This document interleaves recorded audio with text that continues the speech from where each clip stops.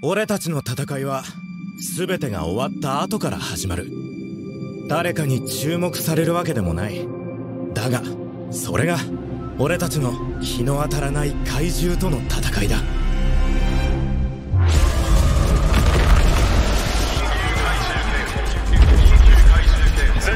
なんでこうなった？隊目指してんだってよ。人すこいて夢なんて。隊長の足の皆さん。俺防衛隊員になる。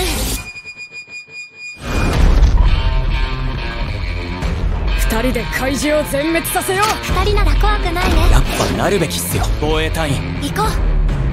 だよな。俺もう一回防衛隊員目指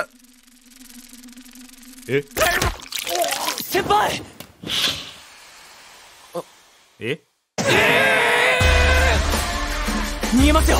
先輩。そう怪獣がなんだ？俺やっぱ諦めない。あいつの隣に行かなきゃなんね俺がフォローします。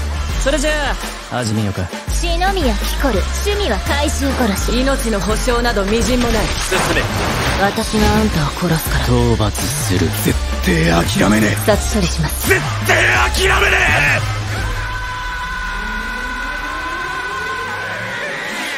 怪獣8号。